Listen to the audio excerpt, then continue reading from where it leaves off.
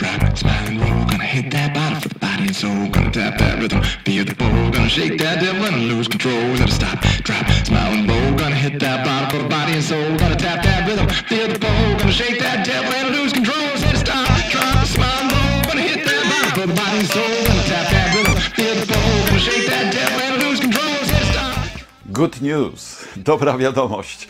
Czwarty numer z 2021 roku zagadnień rodzajów literackich jest już opublikowany. E, W tym numerze mamy bardzo ciekawe artykuły, które same z siebie ułożyły się w dwa nurty. E, Nie mieliśmy wiodącego tematu, a e, okazało się, że jednak ułożyły się tematycznie w takie dwa nurty gatunkowe ekstrawagancji i reportażu.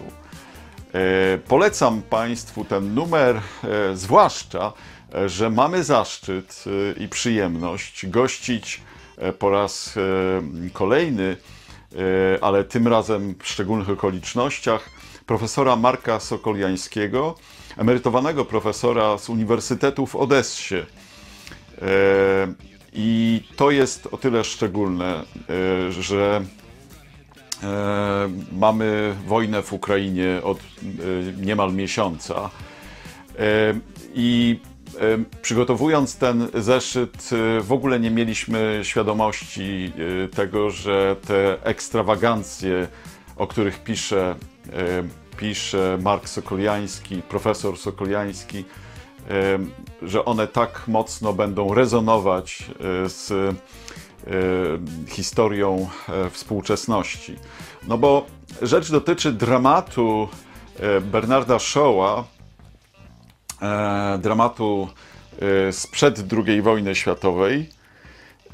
I tenże dramat Shaw'a dotyczy bardzo mocno polityki właśnie przedwojennej e, poli- polityki walki e, totalitaryzmu z demokracją, despotyzmu z demokracją. E, Rzecz jest niezwykle ciekawa. Mark Sokoliański bardzo ciekawie o tym pisze. Jeśli ktoś z Państwa jest zainteresowany, bardzo serdecznie zapraszam. Mark Sokoliański jest bezpieczny w Lubece.